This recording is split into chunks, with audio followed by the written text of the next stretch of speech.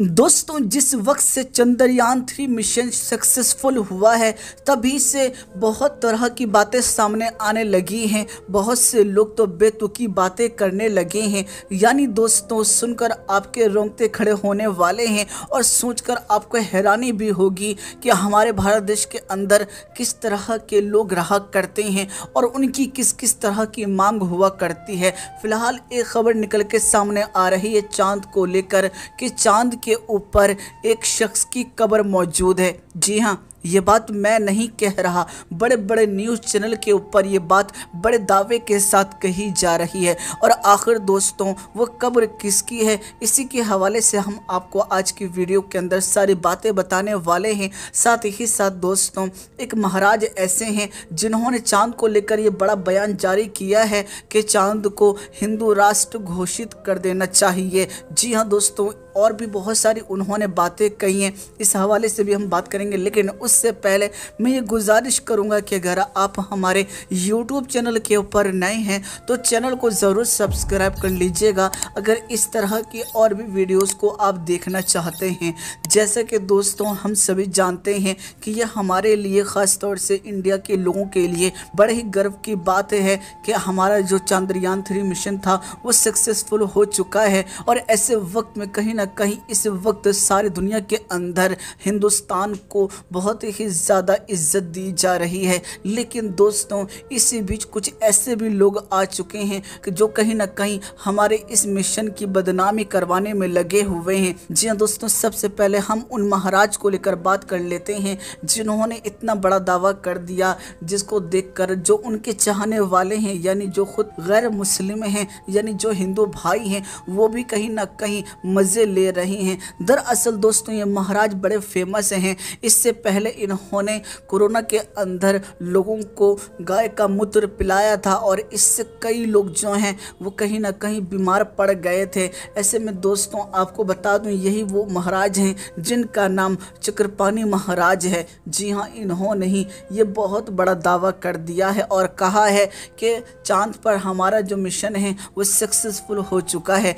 ऐसे वक्त में जिस जगह पर हमारा मिशन सक्सेसफुल हुआ है, यानी साउथ पोल पर। उस जगह को शिव शक्ति के नाम से जाना जाए। और साथ ही साथ ये बात भी कही गई है, ख़ास तौर से अपील की गई है हमारे भारत देश के प्रधानमंत्री से, कि उस जगह को ख़ास तौर से हिंदू राष्ट्र घोषित कर दिया जाए और एक राजधानी के रूप में उस जगह को बनाया जाए। यानी ऐसा ना हो कि इससे पहले कोई इस्लामिक देश आए और वो चाँद के ऊपर गजवाई हिंद कर दे, या फिर चाँद के ऊपर वो अपना इस्लामिक कानून लागू कर दें। इससे पहले ही हम चाँद को हिंदू राष्ट्र घोषित कर देते हैं। दोस्तों, इस तरह की बातें कही जा रही हैं। सारे दुनिया के अंदर इन बातों को सुनने के बाद हिंदुस्तान की कितनी बदनामी हो रही होगी। यकीनन ये बड़े ही अफसोस की बात है। लेकिन ना जाने ये लोग इस तरह की बहकी बहकी बातें क्यों करते हैं? क्योंकि दोस्तों, इन तमाम चीज़ों का कोई मतलब ही नहीं बनता। जहाँ आज सारी दुनिया के अंदर हिंदुस्तान का नाम हो रहा है बड़े बड़े साइंटिस्ट बड़े बड़े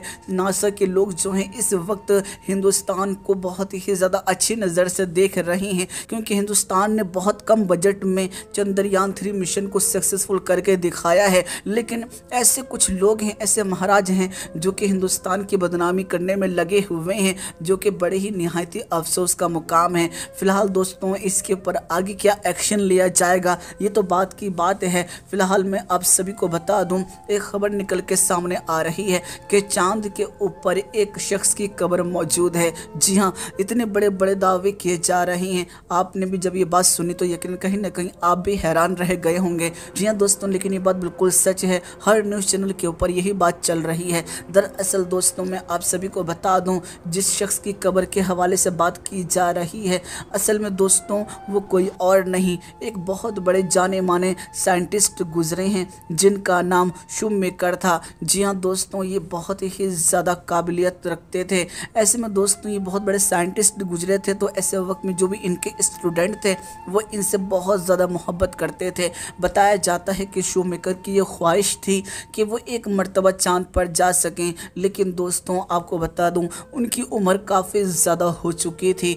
इसी वजह से वो कभी भी चाँद पर नहीं जा सके। उनकी ये हमेशा से ख्वाहिश थी और ये ख्वाहिश उनकी पूरी ना हो सकी। एक दिन अचानक ही किसी एक्सीडेंट में उनकी मौत वाक़ हो गई। ऐसे में दोस्तों, जो भी शू मेकर के स्टूडेंट थे, उन्होंने ये सोचा कि हम शू मेकर के जिसम के पार्ट को चाँद के ऊपर जाकर रख देंगे। इससे कहीं ना कहीं उनको श्रद्धांजलि मिल जाएगी। और इसी चीज़ को देखते हुए उन्होंने नासा से बात की और नासा भी इस बात पर राज़ी हो गया और नासा ने शू मेकर के जिसम को, बॉडी पार्ट को चाँद के ऊपर फेंक दिया। जी हाँ दोस्तों, और ऐसे वक्त में तमाम हड्डियाँ वगैरह जो थी, वो चाँद के ऊपर अब तक बिखर चुकी हैं। और इसी चीज़ को लेकर इस वक्त हर तरफ़ न्यूज़ चैनल के ऊपर बातें हो रही हैं कि चाँद के ऊपर एक शख्स की कब्र है। दरअसल दोस्तों, वो कब्र नहीं है। वो जिसम के टुकड़ों को फेंका गया है और वो जिसम के टुकड़े जो हैं, वो शू मेकर के हैं। ऐसे में दोस्तों, बाद में बहुत सारे ऐसे भी लोग थे जिन्होंने ये कोशिश की थी कि वो भी अपने चाहने वालों के जिसम के टुकड़े को चाँद पर रख सकें। लेकिन दोस्तों, ऐसे वक्त में ये तमाम चीज़ें जो थी, वो सक्सेसफुल नहीं हो पाई, क्योंकि नासा जो है वो पूरी तैयारी के साथ हर एक चीज़ करता है। और जब अमीर तरीन लोगों ने दूसरी दूसरी कंपनियों से बात की, और ऐसे वक्त में ये तमाम मिशन जो थे वो सक्सेसफुल नहीं हो पाए। बहरहाल दोस्तों, आपको मालूम पड़ गया कि आखिर चाँद के ऊपर किसके जिसम के टुकड़े पड़े हुए हैं। असल में सिर्फ़ जिसम के टुकड़े हैं, न कि कोई कब्र है। और आखिर ये हिंदू राष्ट्र सच में बन जाता है चाँद या फिर नहीं, आपको क्या लगता है? आपकी इस खबर को लेकर क्या राय है? अपनी राय ज़रूर हमें कमेंट करके बताइएगा।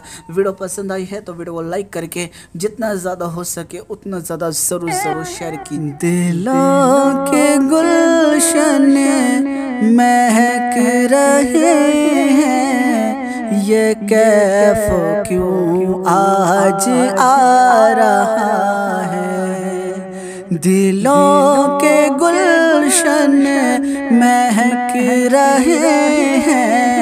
ये कैफ क्यों आज आ रहा है? दिलों के गुलशन महक रहे हैं। ये कैफ क्यों आज आ रहा है? दिलों के गुलशन